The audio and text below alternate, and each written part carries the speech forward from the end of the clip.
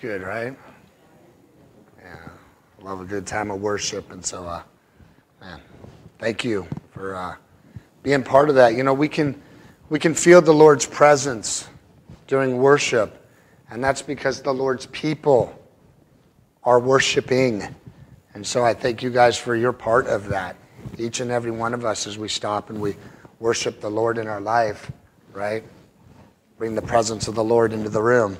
And it's powerful. We want to do things in our life in remembrance of who He is, in remembrance of the Lord Jesus Christ. We want our life to be a fragrant aroma. We do, to be just pouring out to the Lord. I don't know, man, during that worship, I started getting excited. And I was like, oh, this day's got to kind of be this day of taking communion, and, and we need to just, you know, make sure we're giving reverence to the Lord. But the other end of that is we need to scream and cheer and be joyful to the Lord for the things that He's done and the things that He's continuing to do in our lives. We need to celebrate what we have with, you know, fellowship. It's one of the reasons that, you know, typically people are like, "You did a barbecue on communion. Did you know that?" And I'm like, yeah, actually, I did, right? We're going to kind of go into this idea of finishing up something and going and, and celebrating. And part of what makes communion special is obviously Christ. But part of what makes communion special is that we take communion together as his family, as his children. So we are wrapping up Hebrews, way past wrapping it up. We've covered just a, a huge array of topics in Hebrews, digging into it, and we come to this conclusion today.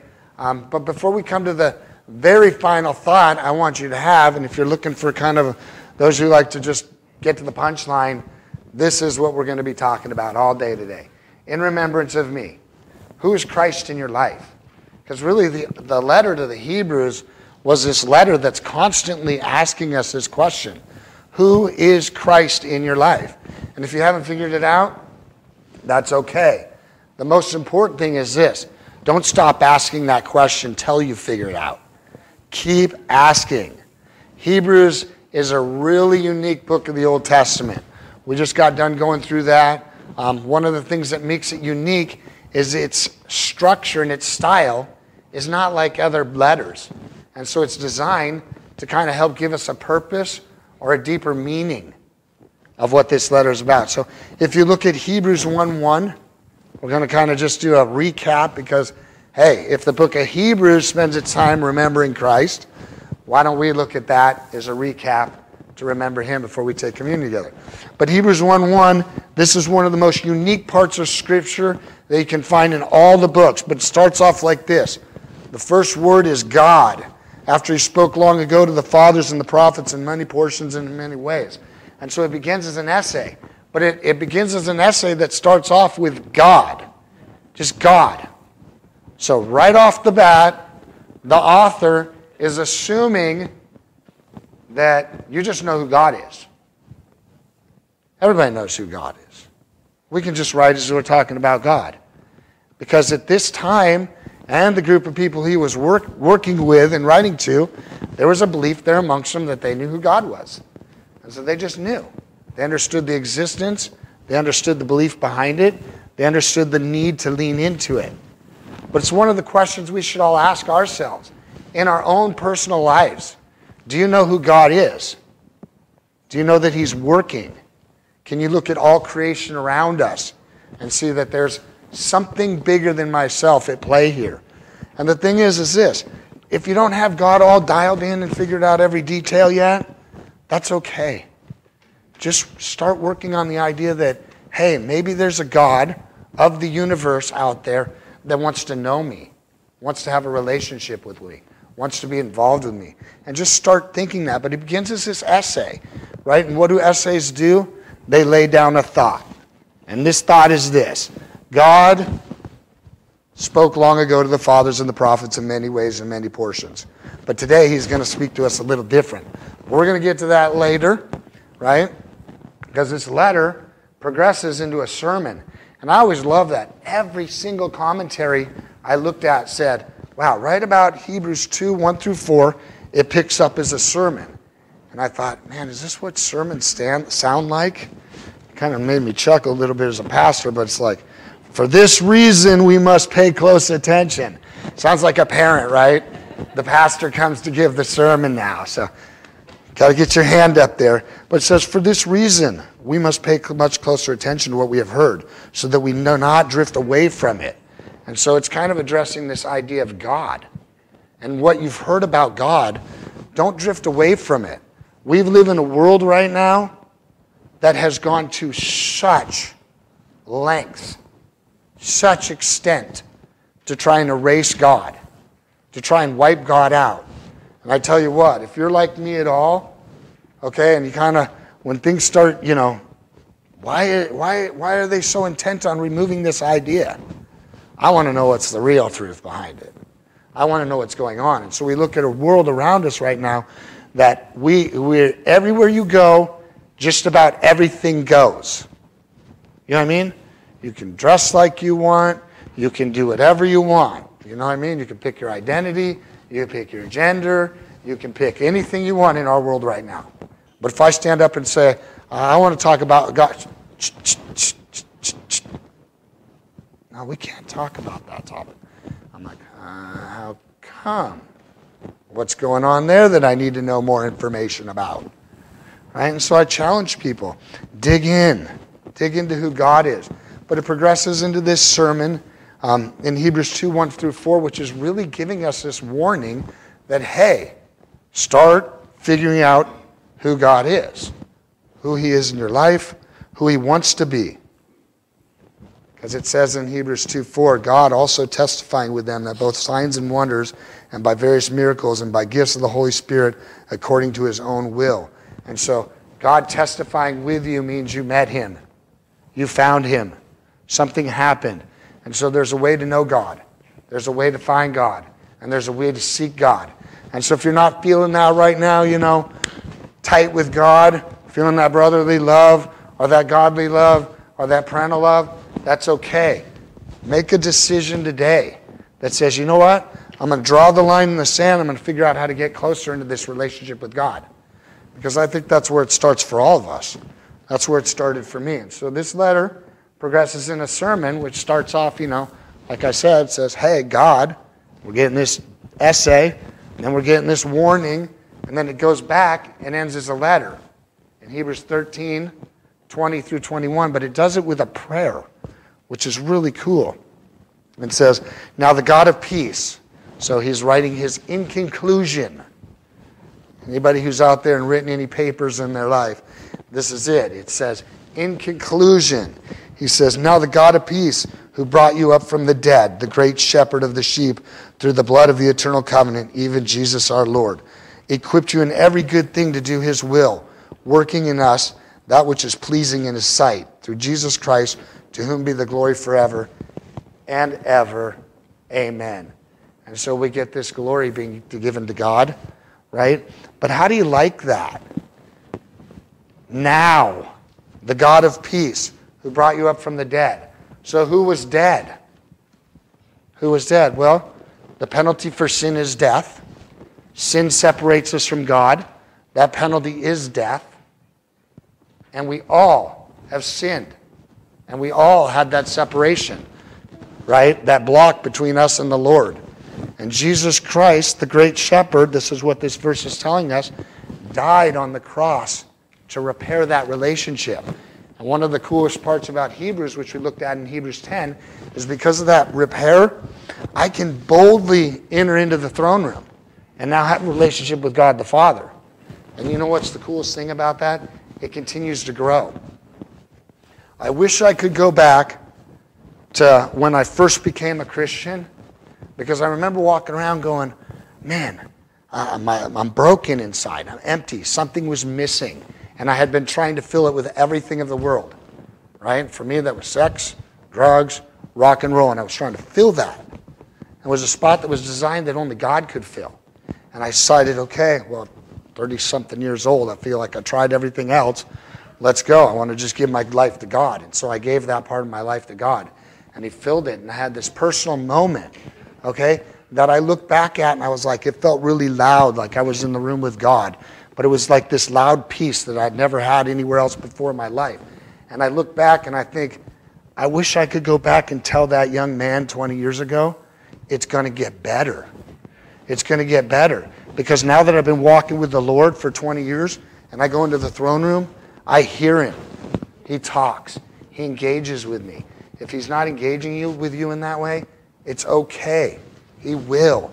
Trust it. Just start leaning in because a lot of times, how many people have ever been able to have a relationship that they haven't leaned into? It's kind of a trick question, right? Yeah, all relationships require that we lean into that. And so that's kind of what Hebrews is finally, finally telling us is that we got to be able to lean into this and be involved, reach into people's lives, dig in. You know what I mean? And the Lord is waiting for us in that.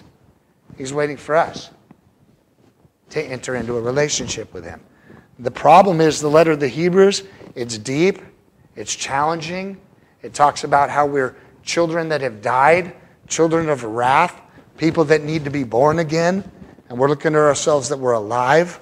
What are you talking about? It talks about how Jesus' blood is a greater sacrifice than all the old sacrifices of the old covenant.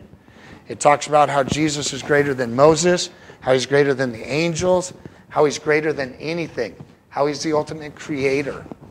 But the important thing is this in the end of the day, no matter how deep and how challenging the contents of Hebrews is, and no matter how much we sit there and ponder this whole entire scripture, I've been thinking about this because we're going to start digging into the letter to James, okay? What my faith lived out like.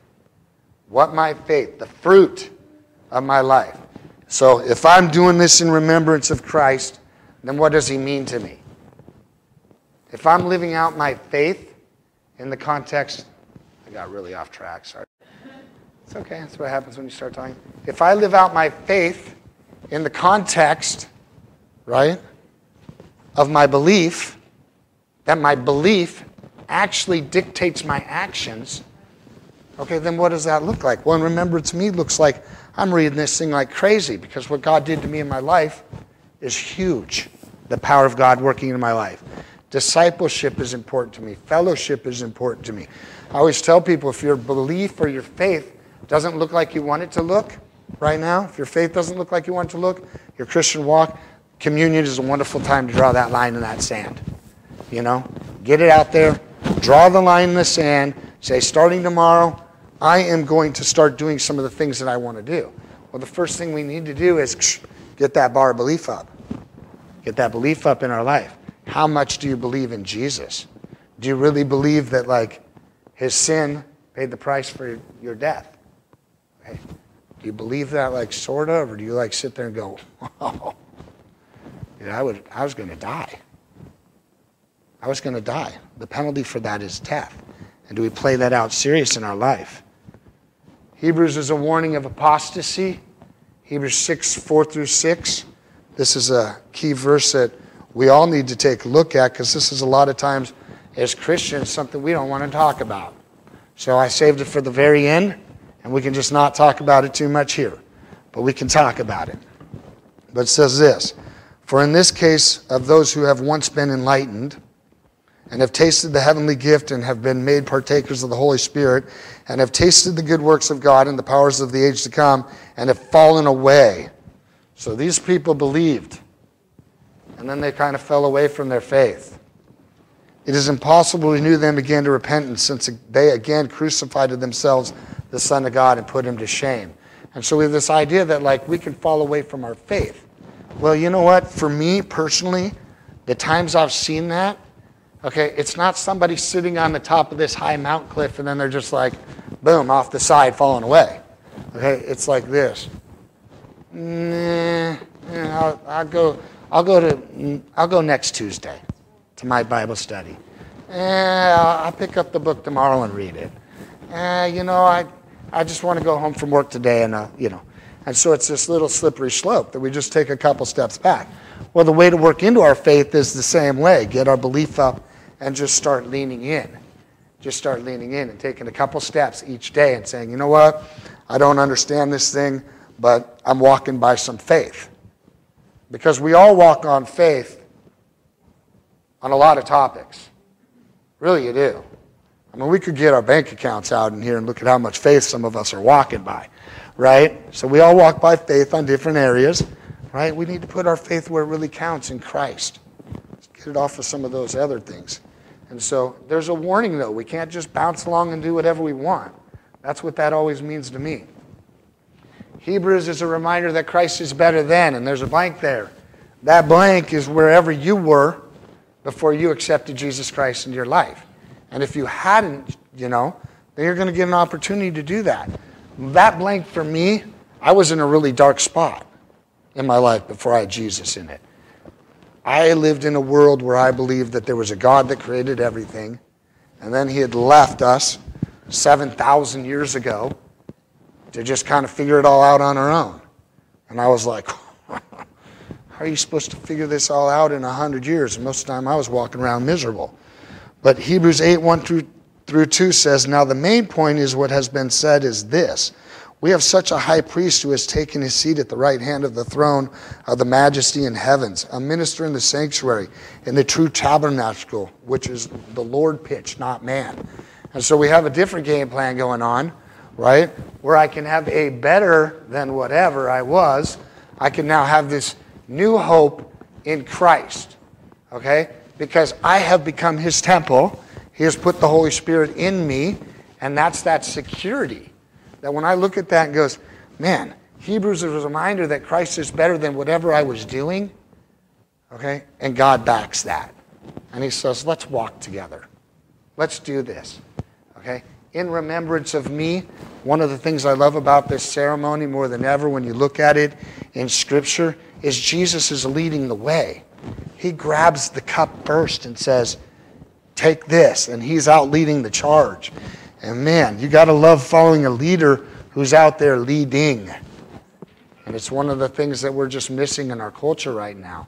But Jesus was that kind of guy. And you probably don't, probably don't see that as many areas of your life. And so, is, is Christ better than for everything for you? And I know it kind of sounds weird to say it that way, but like, is Christ better than everything for you? Have you stopped?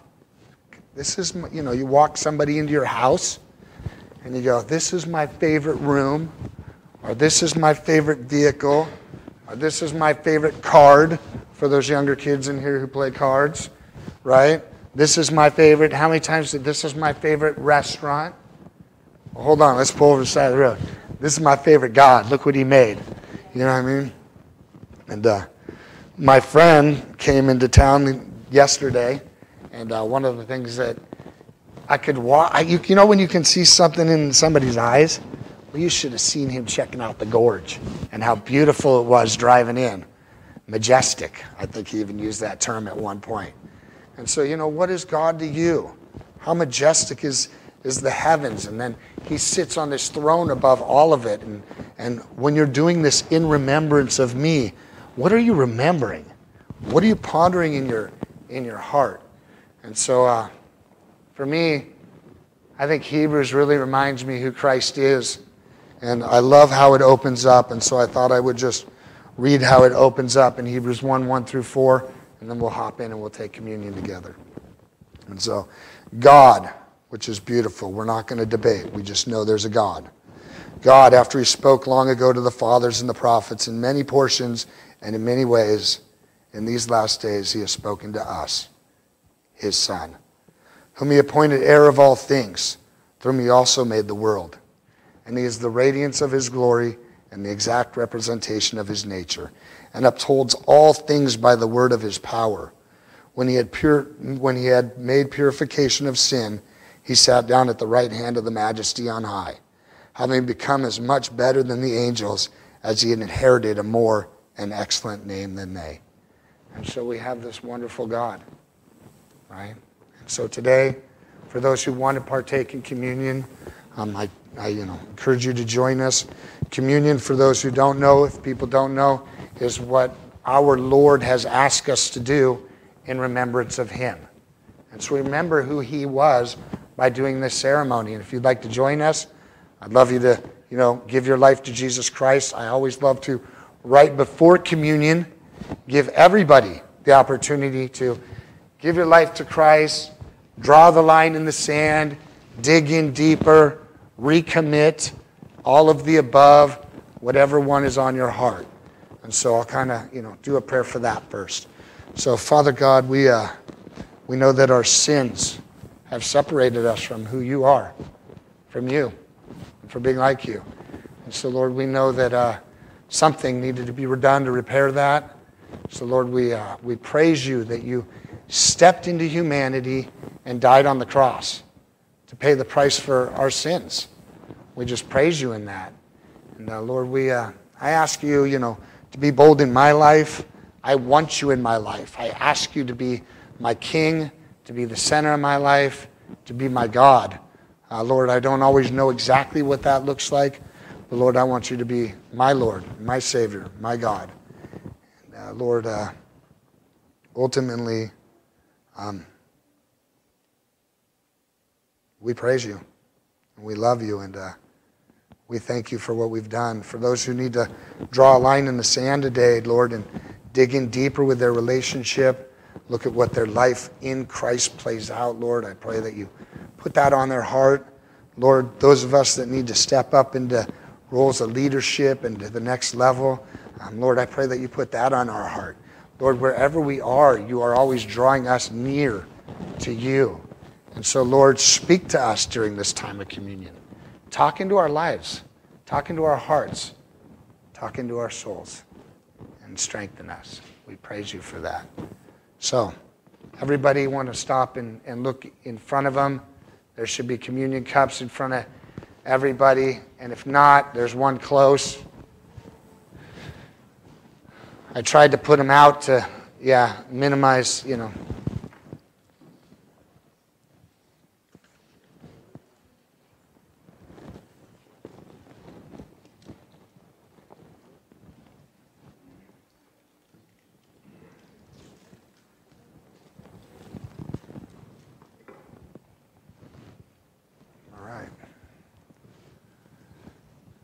So everybody's got those opening up because they already know what to do. It's kind of a weird culture we live in. I kind of miss the time of passing it out where you have time to, yeah, think a little bit. So I thought I'd create a little bit of that today in here, um, just in some silence, you know.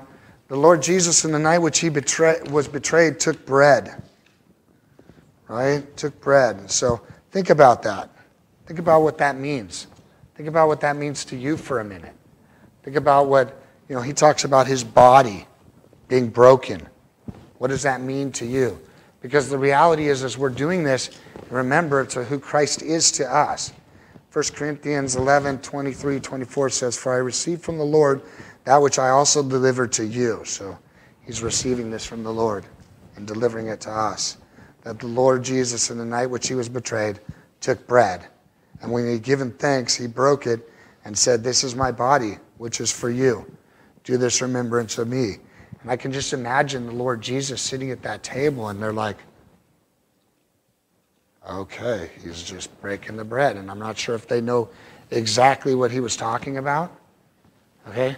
But here, 2,000 years later, we look at that broken bread and we see Jesus' broken body lying up on the cross for us, taking one, one, one monstrous beating on his way to paying the penalty for all of sin.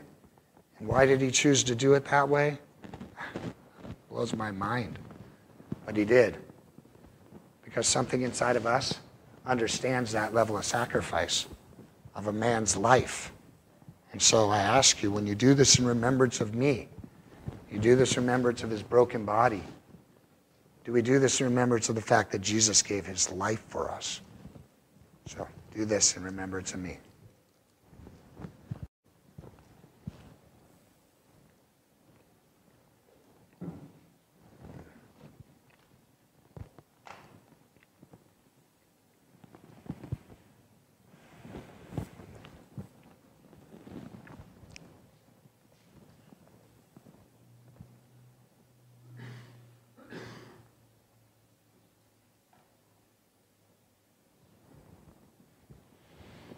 In the same way, he took the cup also after supper, saying, This cup is a new covenant in my blood. Do this as often as you drink it in remembrance of me. For as often as you eat this bread and drink the cup, you have proclaimed the Lord's death until he comes. And so we do this in remembrance of his blood. And I always want to remember at Passover, at the Seder, you know, we would go into the cup with our fingers 10 times for the 10 plagues, and you put it on the corner of your plate. And that was what that last cup, after you ate, because you ate the Passover lamb. I don't know why they did it in that order, but they did it, you know, that's how we did it in my house. We ate the Passover lamb, and then we finished that fourth cup, that last cup after, and did that part where you do it in remembrance of me for each time. And it's a beautiful thing, and I look at that and I'm like, man, for Jesus to have picked up that cup at that Lord's Supper like that, at that Passover Seder, when they were ready, like, probably expecting him to put his finger in it or something at that point. And he says, No, do this in remembrance of me because this is going to be my blood. And what he's saying to us is, When are you going to stop in your lives and remember me? When are you going to stop and draw that line in that sand and in remembrance of me and who I am? And he goes, You know what? This is when you're going to do it. Because there's very few commands that the Lord Jesus Christ have given us. I had a conversation with a guy the other day, and he says, Christianity is so locked up in rules. And I'm like, really? Because I can only think of a couple that the Lord gave us love one another, you love your neighbors, right? Do this in remembrance of me. And so, really, the Lord Jesus, what he wants is us is to understand who he is. And again, in remembrance of me. And so, Let's take a second and think about that, then I'll read the verse. But what does his blood mean to you personally? Like on a real personal level for communion as you take fellowship with the Lord.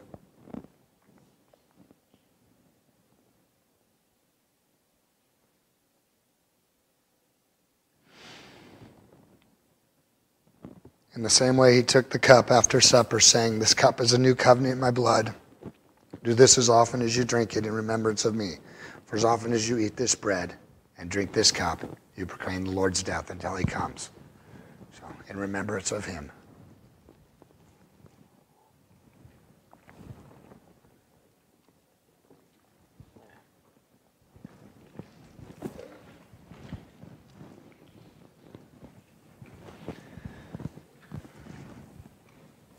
We are yeah, I love taking communion together. We are going to be looking at the Lord's Supper a little deeper next time we take communion together because I'm going to be breaking down over a couple weeks why we take the Lord's Supper.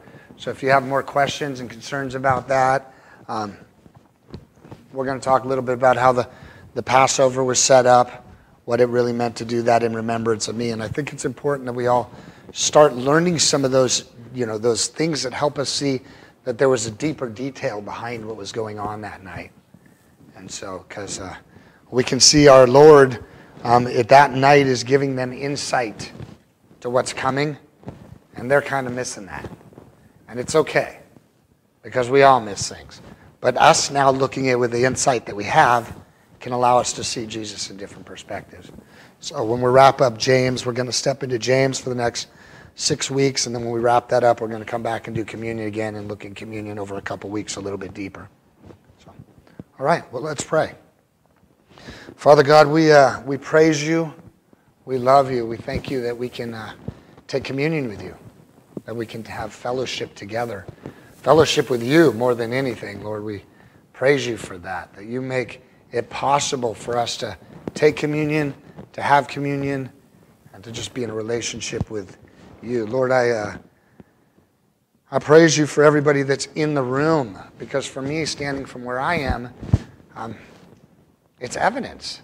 It's evidence that there's a living God as I watch my brothers and sisters take communion and, and acknowledge you. And uh, I love that. I love watching people acknowledge you, Lord. It's a wonderful thing. Now let our lives continue to acknowledge you as we go out together in a time of fellowship as we go out together in the world around us. Let us continue to be a fragrant aroma. Let us continue to be loving, helping people understand who you are. Lord, there's a world full of people out there right now that maybe they don't know you like we know you. And um, Lord, help open doors so that we can know, help them, help them know you. Help us do our part. And, uh, Lord, ultimately, we are your hands and feet. So guide us, strengthen us, empower us, and equip us. And we just pray that all in Jesus' mighty name. They all said,